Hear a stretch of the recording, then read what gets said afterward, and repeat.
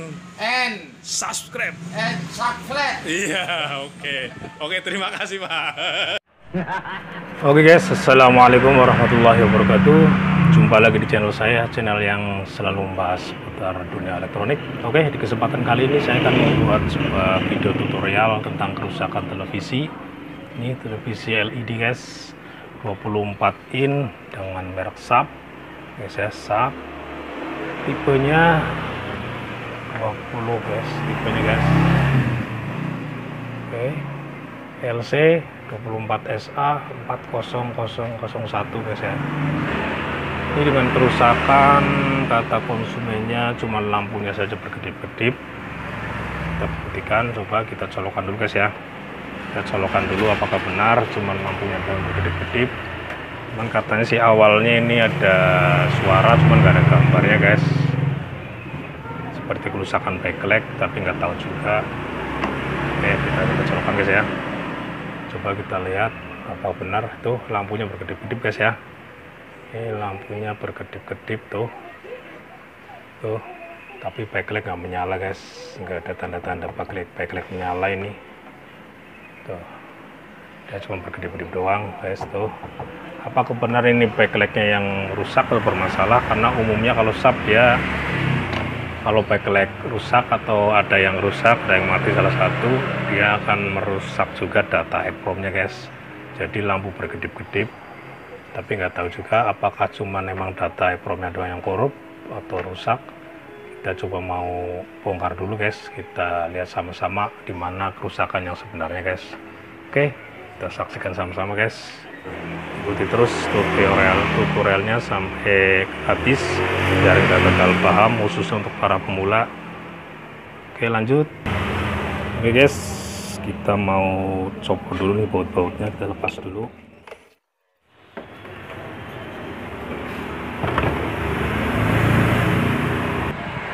Oke guys ini seperti ini nih mesinnya guys ya. Dia power supply mainboard gabung jadi satu ini jenis EPROM nya ada di bawah ini guys. Ada mainboardnya di belakang ini. Ini apa yang jenis lampunya? Lampu yang kecil-kecil guys ya. Yang kayak lampu SMD jenisnya backlightnya. Bukan yang lampu gede-gede guys ya. Lampunya kecil-kecil. Ini buat soket lampunya tuh.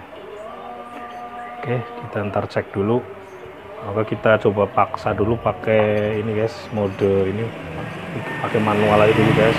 Lampunya mau nyala nggak? Kita pencet ini tengah apa tombol joystick ini tengahnya kita pencet ini pencet power ini.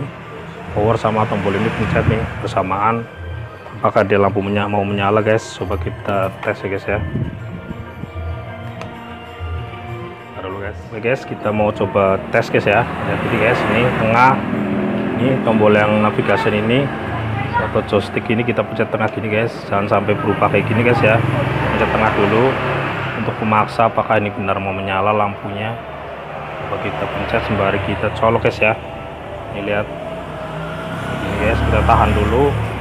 Ini kita mau colokan guys ya. Bismillahirrahmanirrahim. Apakah dia mau maksa? Nyala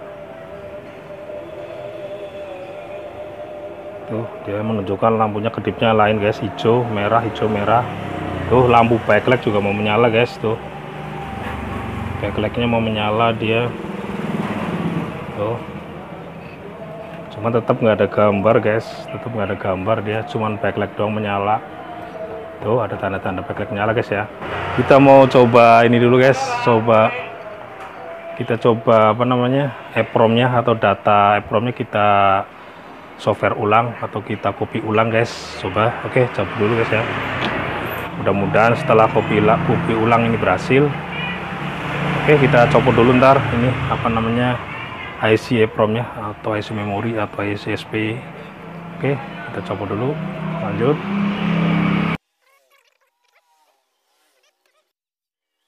Kita lepas guys ya. Kita copot dulu lihat dulu posisi EEPROM nih guys nih EPROM nya guys ya di sini dia. Kita mau lepas dulu guys ya ini EPROM nya oke. Dipakai tipe EPROM nya ini 25Q32 kalau nggak salah guys ini. 25Q32 guys ini atau kapasitas datanya biasanya sekitar 4 MB guys. Oke kita mau coba dulu guys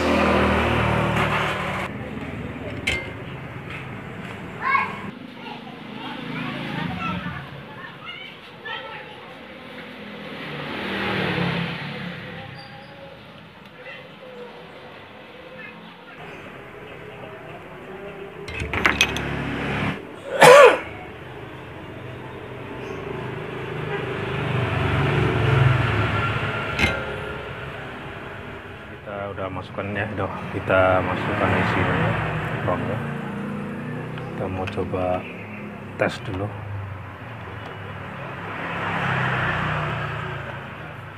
Oke kita hapus dulu guys ya data yang di EPROM ini.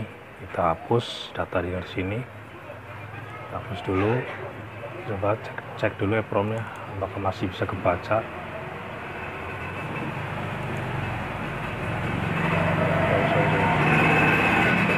oke itu masih kebaca guys. Benar. Ya W25Q 32 atau kapasitasnya 4 MB biasanya guys. Kita coba hapus dulu guys. Data yang di kita hapus. Hapus data yang di sini guys ya. Yang di EPROM ini. Kita hapus kita masukkan data baru guys. Oke ya. Udah terhapus guys ya. Kita cari untuk tipe sub nih kita cari datanya filenya. Oke ini ada nih. Ini 4 MB bener guys. Nih datanya langsung bener langsung ada. 24 SA 40001 guys kita close oke kita cabut ini ya kita coba pasang ya yes kita langsung pasang aja ini ya. Ke sini. Oke kita coba pasang. Oke guys ini ya. Copot dulu nih. Oke. Guys yang udah udah kita copy guys ya. Dan berhasil guys. Kita pasang dulu ke mainboardnya pasang. Cari titiknya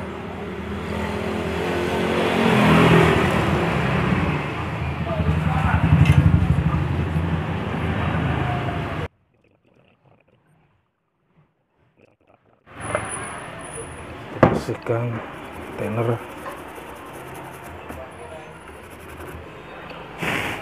oke kita rapikan kembali. Oke guys kita mau coba tes dulu ya kita colokan apakah ini berhasil setelah kita ganti prom sudah rapi guys ya. Kita mau coba. Bismillahirrahmanirrahim.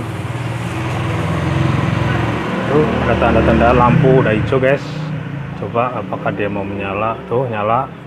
Tapi sebentar terus mati guys. Ini lampu backlightnya terus mati. Berarti ini bermasalah juga di backlightnya guys. Ini kita ntar mau rapikan dulu backlightnya apakah benar ada yang mati. Soalnya untuk kasus sub seperti ini biasanya emang diawali dari backlight bermasalah terus timbul ke data EPROM nya rusak guys. Jadi kita ntar mau bongkar dulu nih kita mau udah cek backlightnya apakah benar ada yang mati tapi kalau dari indikasi tadi udah sempat nyala sebentar terus mati lagi guys. Ini kalau kita paksa ntar kita susah lagi kita harus copy ulang lagi karena ntar data di nya rusak lagi bermasalah lagi. Jadi ntar kita mau bongkar dulu kita mau coba cek lampunya guys ya. Oke lanjut. Ini udah saya bongkar prime-nya guys ya. Prime dari TV LED ini karena saya mau cek lampunya guys lampunya apakah benar ini lampunya ada yang mati? Kita mau lanjutkan ini. Kita cek dulu lampunya guys lanjut oke guys ini udah saya angkat layarnya guys ya. Tuh layarnya saya taruh situ guys. Oke. Karena saya melanjutkan malam guys. Tuh hati-hati untuk kawan-kawan yang pemula. Nah, pas pembukaan layar ini harus benar-benar hati-hati. Soalnya tadi dia masih lengket nih. Masih kayak ada lemnya di sini. Pembukanya agak susah guys ya. Mestinya dipisah dulu kayak gitu guys. Oke lanjut. Untuk membongkar ini apa namanya reflektornya. Ini guys ya udah saya bongkar guys. Nih tuh guys ya. Ini seperti ini lampunya emang sepertinya ada yang emang pada gosong guys. Ada yang gosong tuh. Seperti bagian-bagian ini tuh. Tuh. Dia ada yang pada gosong seperti ini guys. Oke kita coba tes dulu guys. Nyalakan emang bener-bener mati apa gimana guys? Oke lanjut. Oke guys kita mau tes ini. Kita mau tes dulu. Lampu yang mana sebenarnya sebelah mana yang mati? Apakah ini kan dibagi dua nih guys lampu ini? Kalau lihat jalurnya lihat ininya dia dibagi dua. Nih sebelah sini sebelah sana guys. Apakah yang sebelah sini yang pada mati atau sebelah sini? Nih kita tes dulu. Oke mana yang mati nih? Nanti kan kita colok dulu guys Bismillahirrahmanirrahim. Lihat perhatikan guys ya. Lampu udah hidup ininya indikatornya. Tuh oh ternyata sebelah sini yang hidup guys. Kita cabut dulu biar memorinya nggak rusak.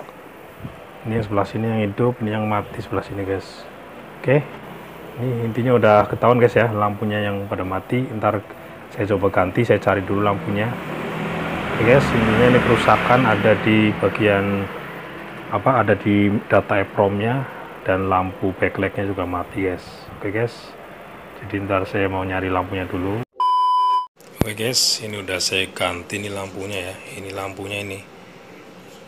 Bekasnya guys. Bekasnya lampunya mati. Sebenarnya mati satu guys. Mati satu biji matinya. Nih. Yang mati ini guys cuman berhubung ini kayaknya udah mulai pada gosong jadi terpaksa tadi saya ganti semuanya dengan model yang berbeda dan tipe juga berbeda guys. Ini saya ngambil dari TV jenis bekas TV Cina guys tapi masih layak semua masih bagus semua lampunya tadi. Sengaja saya nggak shoot video apa videonya karena prosesnya cukup lama guys. Akan makan waktu cukup lama kalau misalnya saya videonya cukup lama karena tipe serinya berbeda jadi, jadi saya rubah-rubah guys. Karena ini sistemnya seri dua bagian bagian satu bagian dua ini. Isinya. Kalau ini lampu yang ini isinya ada kalau nggak salah 18 guys. Ini 18 bagi dua jadi lap, apa 99 9 biji 9 biji satu bagian 9 biji guys. Kalau yang ini tadi saya ganti nih ini kan isinya ada kabelnya juga beda guys. Kabelnya ada 1 2 3 4 ada 4 biji.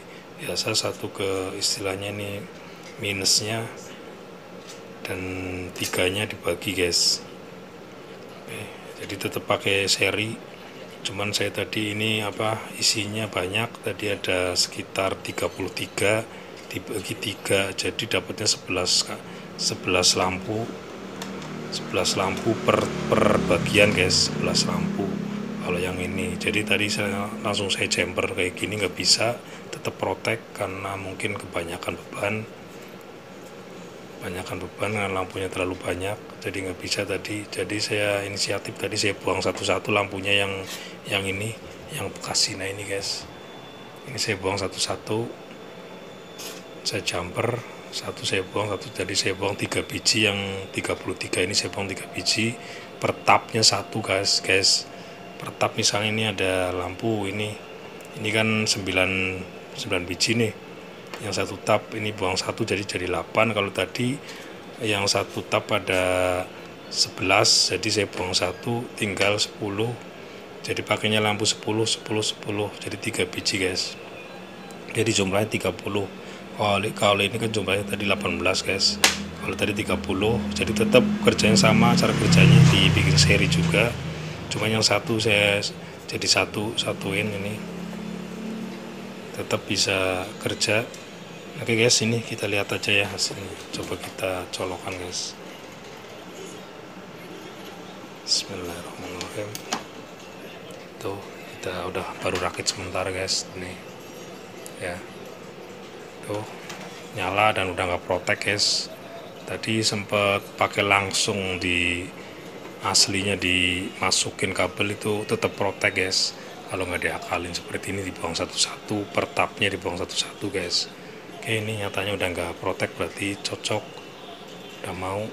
Oke tadi mau saya shoot agak lumayan lama prosesnya jadi saya apa kasih penjelasan aja di akhir videonya guys ya. Oke terima kasih untuk yang sudah ngikutin video ini sampai akhir. Dan untuk kawan-kawan yang baru berkunjung di channel saya silahkan like, comment, dan subscribe karena subscribe itu gratis. Oke dan terima kasih juga yang sudah mendukung channel saya dukung terus supaya channel saya tetap bisa berkembang dan bisa memberikan konten-konten yang berguna untuk kawan-kawan. Oke. Salam sukses selalu. Waalaikumsalam warahmatullahi wabarakatuh